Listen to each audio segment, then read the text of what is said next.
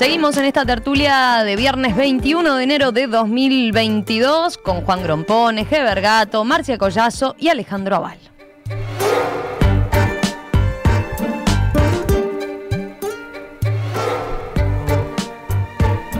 Hollywood Big Shot's gonna give you what you want. He says there's no chance. I'm gonna make him an offer he can't refuse. You know my father. The men are coming here to kill him. Now you want to get mixed up in the family business? I thought you weren't going to become a man like your father. I never wanted this for you. Fredo, you're my older brother, and I love you. Reconocen la música, los diálogos. Corresponde a la película El Padrino, el clásico de Francis Ford Coppola, que este 2022 está cumpliendo 50 años desde su estreno. Este largometraje, considerado uno de los mejores de la historia del cine, narra la historia de la familia Corleone, uno de los cinco clanes de la mafia siciliana en Nueva York. La película se enfoca en el personaje de Michael Corleone, interpretado por Al Pacino, quien de joven no quiere participar en los negocios de su padre, Vito Corleone, papel de Marlon Brando, pero finalmente termina convirtiéndose en un implacable jefe de la mafia ítalo-estadounidense. Para celebrar el aniversario número 50 del estreno, el próximo 25 de febrero se estrenará en cines una versión remasterizada de la película. Además, el 28 de abril, en la plataforma de streaming de Paramount, se va a estrenar la miniserie The Offer, una serie biográfica que retrata el detrás de escena de la realización de El Padrino. Bueno, ayer cuando se los planteamos, cuando Rodrigo Belenda desde la producción se los propuso este tema, todos creo que estaban de acuerdo, todos estaban eh, entusiasmados.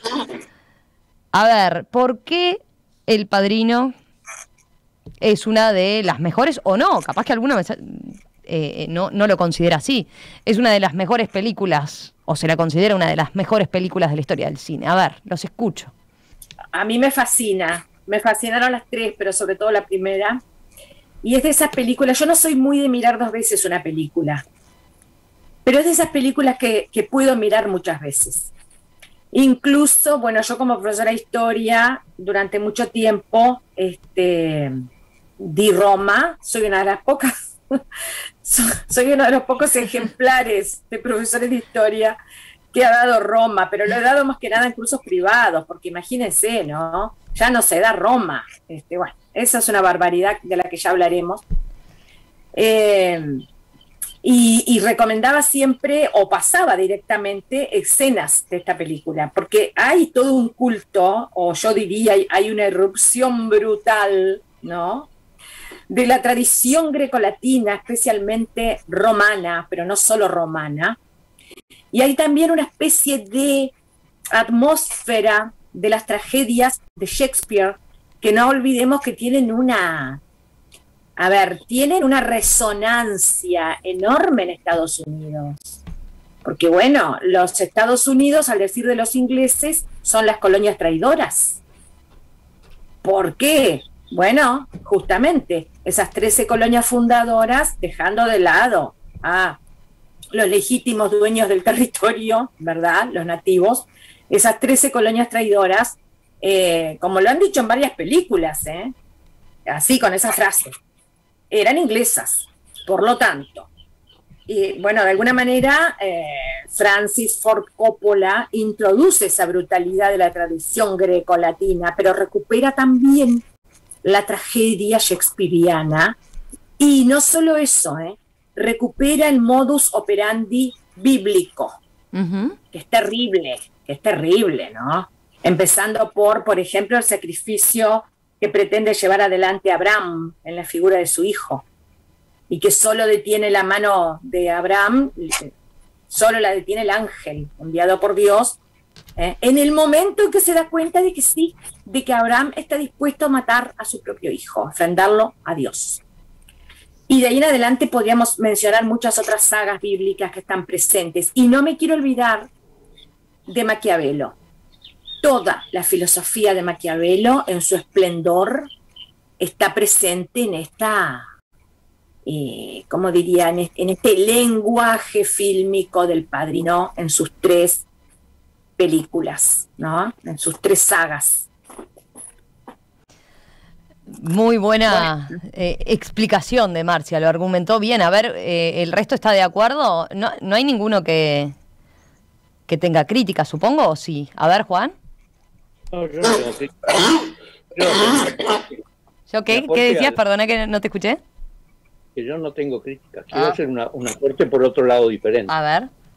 Creo que la trilogía del Padrino este, eh, ve- se, se trata de la mafia, la mafia siciliana en Estados Unidos.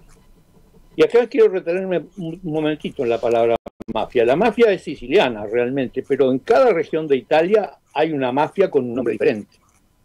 En la patria de mis antepasados, por ejemplo, pertenecemos a la Camorra, igual que el padre de la Chorra, ¿no?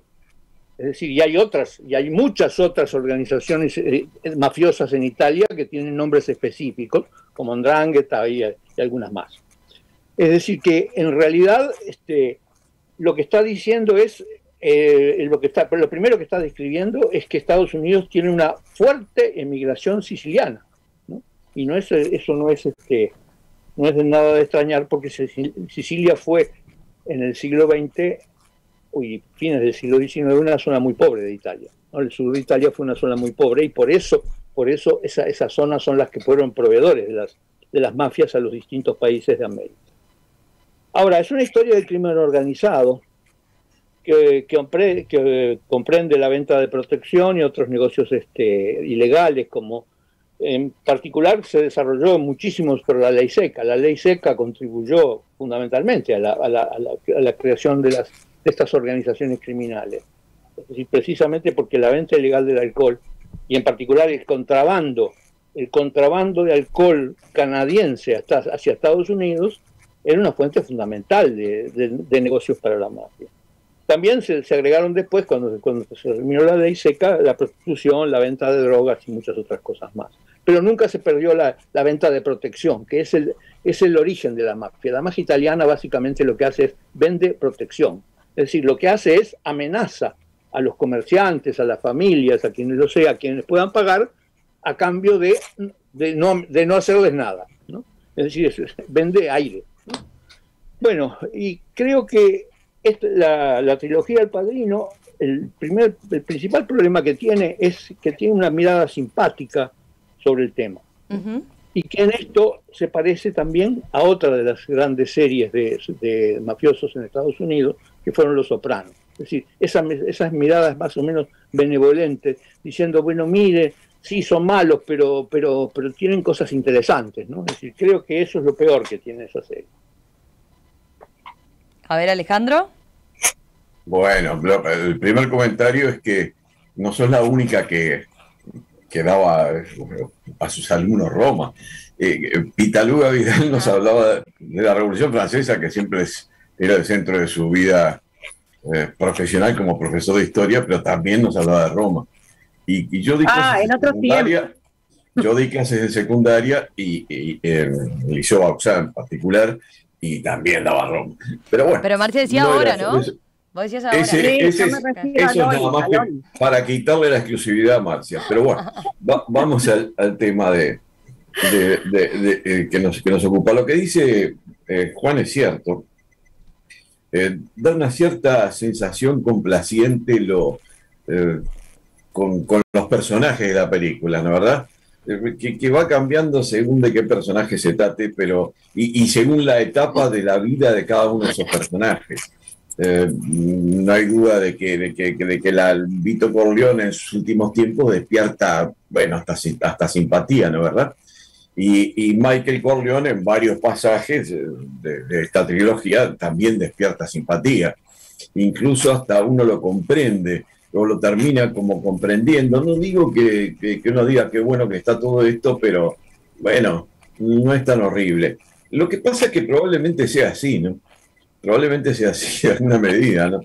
Lo, lo que se pintó por, por, por, bueno, por Mario Puzo y por Coppola en definitiva, eh, quizás corresponda en buena parte, en buena parte a la realidad. Eh, hay personajes que mafiosos la, en la película que son siniestros, eh, pero hay otros que, que realmente despiertan bueno, termina uno diciendo, caramba, estoy con fulano de tal, o más bien me cae bien fulano de tal, o lo que hizo fulano de tal. Pintaba realmente el ambiente de la mafia en los años 40, 50 y bueno, quizás un poquito después, pero fundamentalmente en esa, en esa época, la película, lo que era la mafia de Nueva York, a uno le da la sensación de que no, de que, de que, de que toda la vida de Vito Corleone, eh, eh, empezando por, por, por, su propia niñez y su juventud, es algo un poco más excepcional, que los más malos eran otros y no tanto la familia Corleone. Esa es la sensación que uno le queda. Juan se ríe, pero, pero, pero decime si no es esa, esa la idea que, que, te queda después de ver todo esto. Es decir, los otros son horribles, eh, pero los Corleones no, bueno, no son tan así. Tienen aspectos buenos, eh, están, la película pinta el ambiente familiar en el que se desenvolvía todos estos personajes y, y, por supuesto que lo hace muy bien, lo pinta muy bien, pero eh, le da un, un, no puede negar la simpatía que, le, que, que, que de alguna medida despierta lo que se está pintando en la película sobre esta familia.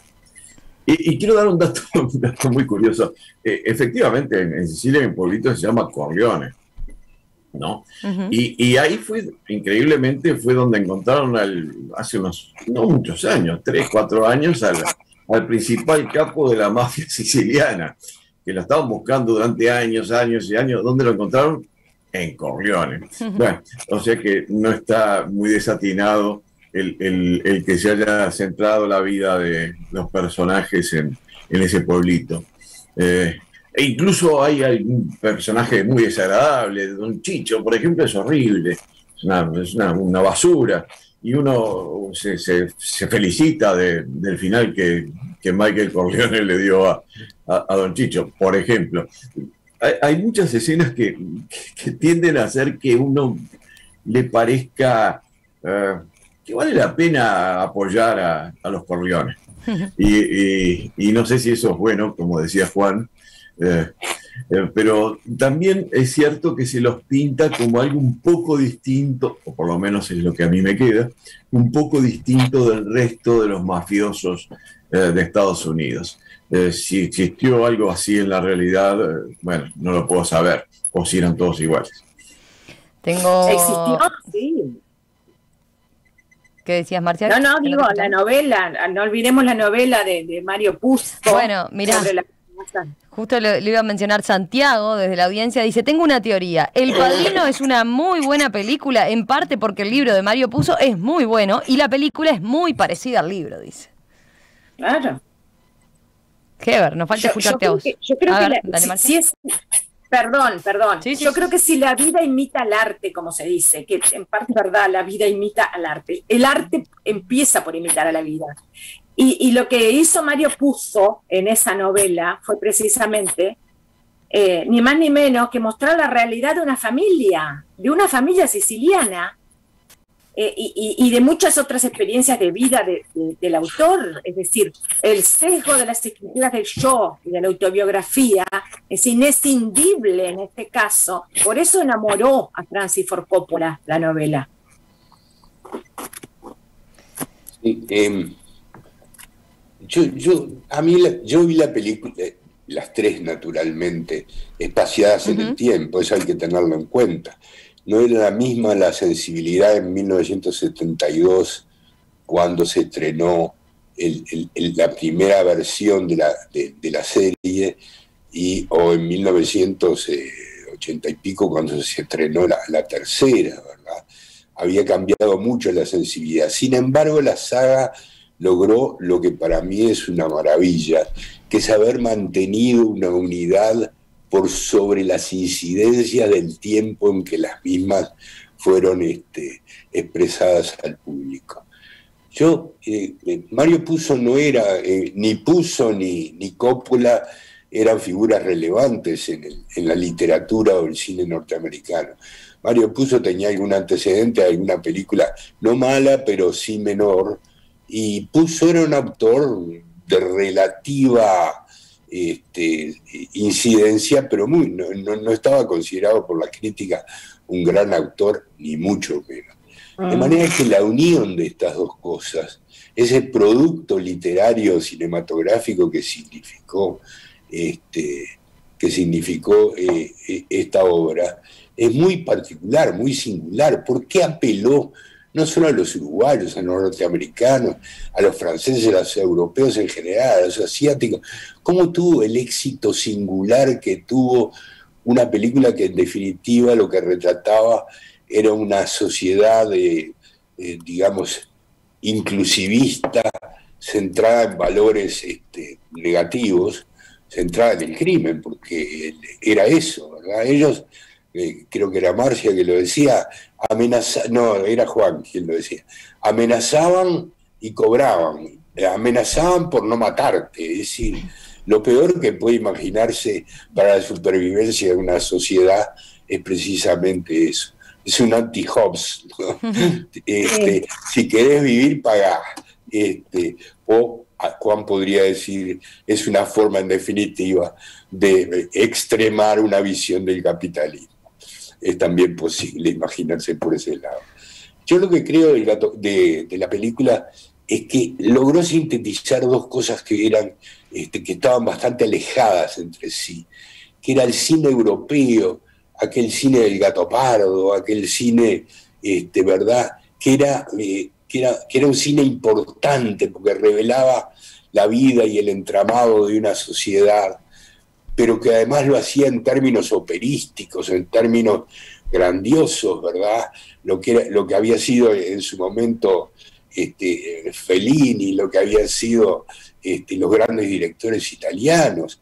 Y por otro lado lo unía a lo que había sido Lores de Arabia con David Lean. Es una película que está en el medio, si ustedes quieren. Es posible pensarla como una síntesis de eh, Lores de Arabia, una película épica que revela el nacimiento y, de, la historia, es decir, los cambios históricos que se producen con la caída del Imperio Otomano en 1920, por un lado, y por otro lado, este, el, el nacimiento de una sociedad mucho más interiorizada, mucho más pequeña, pero igualmente con pautas que la definen. Lograr esa síntesis a mí me parece absolutamente maravilloso, porque la película tiene algo de tragedia griega, es, es Marcia que lo decía, tiene Claro, mucho claro. de tragedia griega, ¿no? donde los personajes no pueden escapar al devenir que inevitablemente los va a tocar. El, el- el- el hijo más, el hijo más avisado de, de la saga, ¿verdad? Este, sabe que él tiene que ser el, el, el que suceda a Vito Corleone. Bueno, ahí está Heber, ahí está Heber, permitime, este, Sí. la maldición de los atridas, la maldición de los atridas. Exactamente, la maldición del, lo has dicho exactamente así. Y la película conserva ese, esa grandiosidad de retro, a pesar de partir de una realidad local pequeña, localizada y demás, de lograr transmitir ese halo trágico universal que es la maldición de los Atridas, que es los- lo que explica por qué la maldición de los Atridas o la tragedia griega tiene la trascendencia eh, universal que tiene. La película tiene, me parece a mí, no quisiera ser demasiado ditirámbico, pero me parece que tiene mucho de eso. Ahora vamos a verla en su versión remasterizada, ¿verdad? Vamos a ver, parece que tiene muchas este, filmaciones nuevas, agregados, incluso algún cambio simbólico en alguno de los personajes.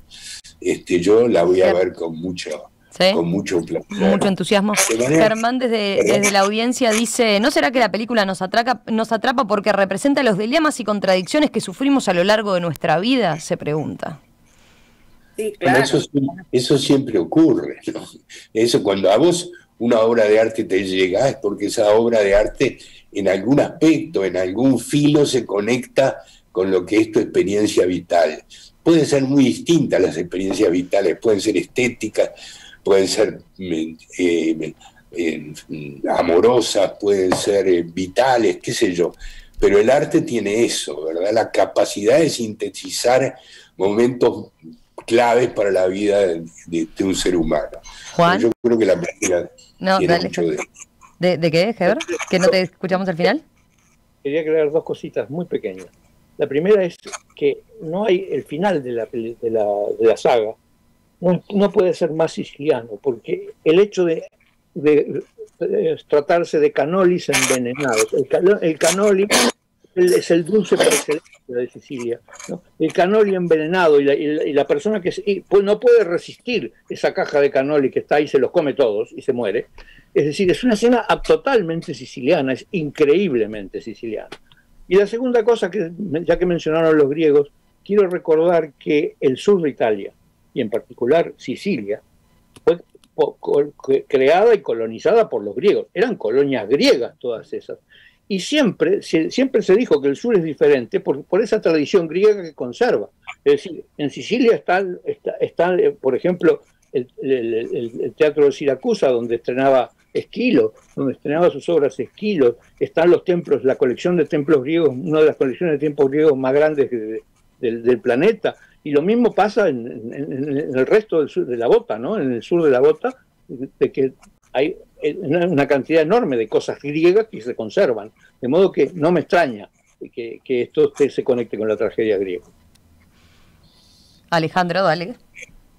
Eh, un último comentario de mi parte, y es la, la, la buena actuación, la excelente actuación de Marlon Brando, de Al Pacino, que, eh, que- que- que forman parte de, de lo glorioso de esta, de esta trilogía, ¿no verdad?